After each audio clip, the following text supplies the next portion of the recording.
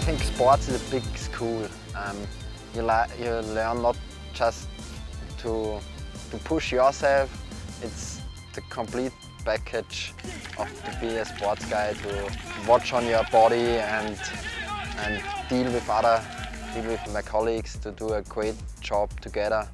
I think that's, that's the most important thing of sports, to, to keep together.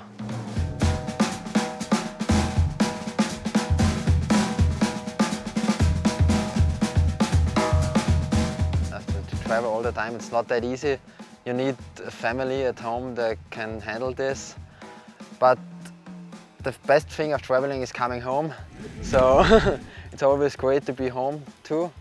But if I can go somewhere and see the world, it's not that bad.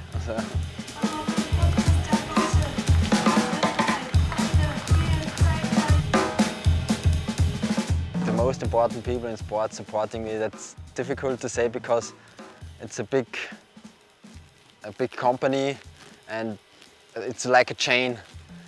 I need every, every point of this, this, this team and there is no one really special. If someone is missing, it wouldn't work like this, I think.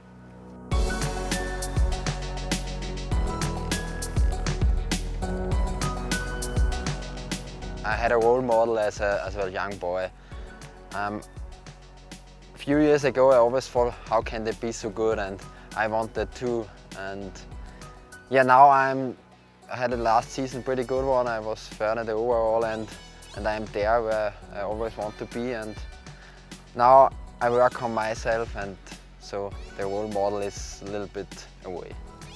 The last season was amazing for me, it was great to, to reach these goals but it didn't make it easier for the next seasons because I want to prove myself that I can do it again.